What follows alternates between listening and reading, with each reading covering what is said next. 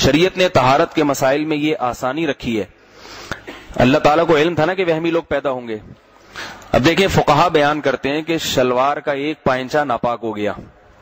کہیں راستے میں اس میں کوئی گوبر یا پیشاب لگ گیا۔ گھر پہنچے تو پت... اب وہ جگہ خشک ہو گئی۔ اب پتہ نہیں چل رہا کہ یاد نہیں رہا کہ سیدھا وہ پائنچا ناپاک تھا یا الٹے الٹی شلوار کا۔ تو فقہ بیان کرتے کہ اندازے سے جس طرف غالب گمان جائے اس پائنچے کو دھو دیں۔ کافی ہے۔ اور نماز پڑھ لیں۔ سمجھ میں آ رہی ہے بات؟ حالانکہ ممکن ہے آپ کا اندازہ غلط ہو۔ امکان ہے۔ مگر اس امکان کو کیونکہ اور بھی غم ہے زمانے میں محبت کے سوا۔ بعض لوگ نمازی بنتے ہیں سارا دن شلوار کا ناڑا ہاتھ میں ان کے اور ایک ہاتھ میں لوٹا۔ کتنا غلط تاثر پڑتا ہے لوگوں پہ۔ گورا بھی انگریز بھی کہتا ہوگا، ان کو سارا دن استنجوں کے لوٹوں سے فرصت نہیں ملتی، یہ ترقی کیا کریں گے؟ سمجھ میں آ رہی ہے بات کہ نہیں آ رہی؟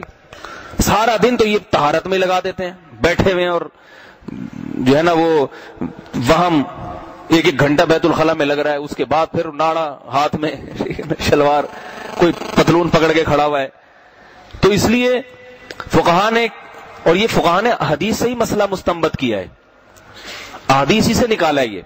وہ حدیث کیا ہے کہ رسول اللہ صلی اللہ علیہ وسلم جب پیشاب سے فارغ ہوتے، تو یاد رکھیں مسئلہ تو یہ کہ پیشاب سے فارغ ہو کر فوراً نہ اٹھیں۔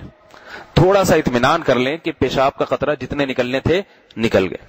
ٹیشو پیپر وغیرہ ہے، وہ تو آج کل استنجا کے ڈھیلے بیت الخلا میں رکھنا صحیح نہیں ہے کیونکہ اس سے گندگی ہوتی ہے، وہ گرتے ہیں اس میں، فلش میں۔ ڈھیلا مٹی سے استنجا جب ہو جب کہیں میدان میں انسان کو پیشاب کی حاجت ہو، یہ جو پکے فرش ہے نا اس میں نقصان ہوتا ہے تو اس کا حل یہ کہ ٹیشو پیپر رکھا جائے۔ تو ٹیشو پیپر سے خوش کیا، جب ایک دفعہ دیکھ لیا کہ اطمینان ہو گیا، اب نہیں آ رہا قطرہ، تو بس کھڑے ہو جائیں پھر بھول جائیں۔ بار بار پھر جا کے اس کا مطالعہ کرنا۔ شلوار کو دیکھ رہے کبھی یوں کر کے لائٹ میں لے جا کے دیکھ رہے کبھی یہ کر رہے حدیث میں آتا ہے کہ آپ صلی اللہ علیہ وسلم جب استنجا سے فارغ ہوتے، تو اپنے اظہار پہ پانی کی چھینٹ مار دیتے تھے۔ اس لیے کہ بعد میں اگر بالفرض تری نظر بھی آئے، تو اب یہ کیا پتا چلے گا کہ یہ پیشاب کی تری ہے یا ہم نے پانی سے، تاکہ وہم کا بالکل خاتمہ ہو جائے، وسوسے بالکل ختم ہو جائیں۔ یہ اس لیے آپ صلی اللہ علیہ وسلم نے بتایا، تاکہ آپ کی امت وہمی نہ بن جائے۔ ایک دفعہ ایک سوال آیا ہمارے پاس، ایک نوجوان نے کہا، میں جیسے ہی صبح اٹھتا ہوں، نماز سے پہلے اپنی شلوار کو میں باقاعدہ لائٹ میں رکھ کے دیکھتا ہوں۔ کہیں احتلام تو نہیں ہوا مجھے۔ صبح اٹھ کے روزانہ یہ کام۔ کوئی معمولی سا نقشہ نظر آیا تو یار ہو سکتا ہے کچھ تھوڑا سا کچھ ہو گیا۔ تو اب یہ بھی پاگل ہونے کی کتنی بری بات ہے۔ صبح اٹھ کے کوئی مسواک کر رہا ہے، کوئی واش روم جا رہا ہے، کوئی نماز۔ اور یہ شلوار نکال کے لائٹ کے سامنے جیسے ایکس رے نکال رہا ہوں اس کا۔ تو بھائی اگر احتلام ہونے کا یقین ہے تو نہا لو۔ اور اگر یقین نہیں ہے، وضو کرو، نماز پڑھنے جاؤ۔ ختم۔ اور پھر اس میں ایک بات چل پڑی ہے تو یہ بھی بتا دوں کہ اب کسی کو احتلام ہو گیا، یہ خواتین کے ساتھ بھی مسئلہ ہوتا ہے کہ ان کو حیض و نفاس کے خون لگ جاتا ہے بعض دفعہ یا کوئی ناپاکی لگ جاتی ہے، تو یا آپ کسی کو احتلام ہو گیا، وہ ناپاکی لگ گئی اس میں، تو اب اس میں بھی شریعت نے آسانی رکھی ہے۔ اس میں یہ کہ ایک مرتبہ واش روم میں جا کے آپ اظہار کو، شلوار کو، پینٹ کو جو بھی چیز ہے اس کو دیکھیں، کہاں کہاں لگی ہوئی ہے ناپاکی۔ اس جگہ کو متعین کر لیں۔ اور اندازے سے دھو لیں اس کو۔ اس کے بعد دیکھیں ہی نہیں کہ کہاں لگی ہے۔ پہلی مرتبہ تو اچھی طرح دیکھ لیں کہاں کہاں لگی ہے، یہ یہ جگہ میں نے دھونی ہے۔ اس کے بعد جب اس جگہ کو دھو لیا، تو اب دوبارہ نہ دیکھے ہو سکتا ہے ادھر بھی لگی ہو ہو سکتا ہے وہاں بھی لگی ہو۔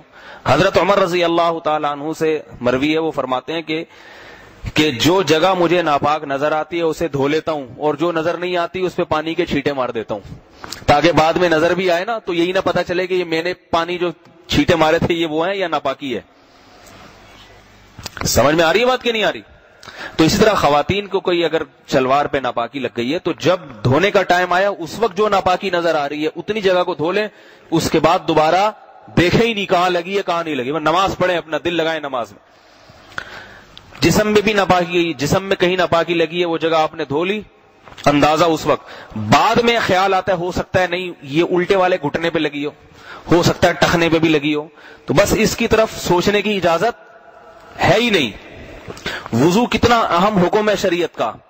مگر وضو کے بارے میں حکم دیا کہ جب ایک دفعہ وضو کر لیا، جب تک ٹوٹنے کا سو فیصد یقین نہ ہو، اتنا کہ قسم اٹھا کے بولو کہ میرا وضو ٹوٹ گیا ہے۔